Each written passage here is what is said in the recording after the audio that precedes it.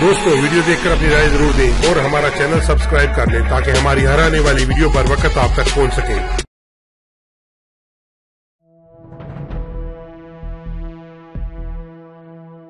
دنیا میں انسان بہت سارے لوگوں سے علم حاصل کرتا ہے، مگر چند ایک ایسے ہوتے ہیں جو اسے اپنے پاؤں پہ کھڑا ہونا سکھاتے ہیں۔ جی ہاں ہم بات کر رہے ہیں خالد حمید کی۔ جو کہ بھاول پور کے ایس ای کالج کے انگلش کے پروفیسر تھے۔ ناظرین کرام بہت عجیب لگ رہا ہے کہ آج ہمیں اس انسان کے نام کے ساتھ تھا کا لفظ لگانا پڑ رہا ہے۔ یہ دردناک اور لرزہ خیز واقعہ ہم سب کے سامنے پیش آیا۔ ایک مذہبی جنونی طالب علم نے اپنے ہی استاد کا بڑا بے رحمی سے قتل کر ڈالا۔ یہ دکھ اس قدر بڑا ہے کہ اسے ہم اپنے الفاظ میں بیان نہیں کر سکتے۔ Sir Khalid Hameed, S C college Sargodha کے انگلش کے شعبے کے مایا ناز استاد تھے۔ آپ کی علمی استطاعت، آپ کا انداز بیان بھاول پور کا کوئی بھی طالب طالب علم جنہوں نے آپ کا ایک بھی لیکچر لیا ہو، وہ آپ کا گرویدہ ہے۔ یہ بات ایسی کالج میں آج ان کے جنازے میں، گراؤنڈ میں شریک لاکھوں کی تعداد میں طلبہ نے واضح کر دی۔ سومو سلاد کے پابند اور اسٹوڈنٹ کے حق کی خاطر خود تکالیف برداشت کر دینے والے طالب علم طالب علم کو ہر لحاظ سے سپورٹ کرتے تھے۔ وہ یہاں تک خیال کرتے تھے کہ کوئی کلیگ یا کوئی اسٹوڈنٹ بھی تک ان سے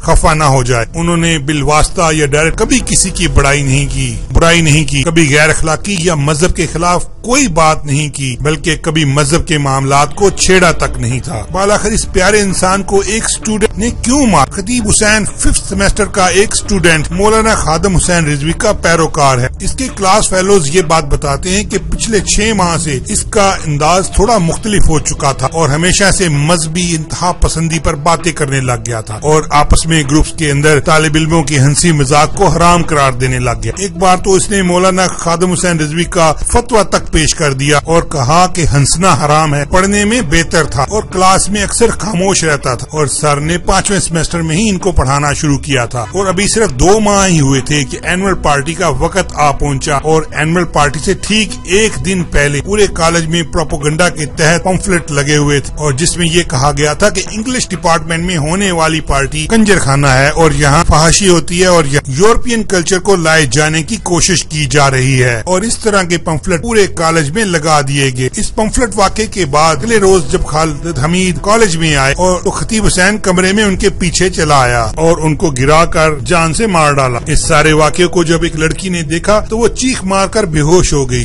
چیخ کی آواز سن کر جب دوسرے لڑکے بھی کمرے میں پہنچے تو انہوں نے دیکھا کہ یہ جنونی سر کو مار کر اطمینان سے کرسی پر بیٹھ گیا ہوا تھا۔ اسی وقت پولیس اہلکار بھی وہاں آ پہنچ۔ جب اس سے سوال کیا گیا تو اس نے بتایا کہ سر اکثر دین کے خلاف بات کیا کرتے تھے۔ اسلام کے خلاف بات کیا کرتے تھے اسی لیے میں نے ان کو کو قتل کر دیا ہے۔ یہ قتل خطیب حسین نے نہیں کیا، بلکہ اس کے پیچھے وہ ایک سوچ کار فرما ہے، جس سے نہ مشال خان بچ سکا، نہ اب سر حمید بچ سکے۔ آپ ذاتی انا کی وجہ سے کسی کو اسلام دشمن کہیں اور اسے قتل کر دیں۔ یہ کون سا دین ہے؟ کون سا اسلام اجازت دیتا ہے ایسے گنونے کام کی کہ جس کا دل چاہے گا وہ نوٹس لگائے گا اور اگلے ہی دن اگلے ہی دن قتل کر دے گا۔ کیا یہ وہی دین ہے جو فتح مکہ کے موقع پر دیکھنے کو نہیں، یہ اسلام نہیں بلکہ اسلام کے نام پر مکرو دھبا ہے۔ اپنی رنجشوں کی آڑ میں آخر کب تک ہم دین کا استعمال کرتے رہیں گے؟ ہم ان جھوٹے اور انتہا پسند مولویوں کے پیچھے اپنی جانیں گواتے رہیں گے اور ہم اپنی دانشوروں کو کھو دیں گے۔ آج سر خالد کا قتل صرف خطیب حسین کے ہاتھوں نے بلکہ علم کا قتل ہوا، وہ بھی ایک جاہل کے ہاتھوں۔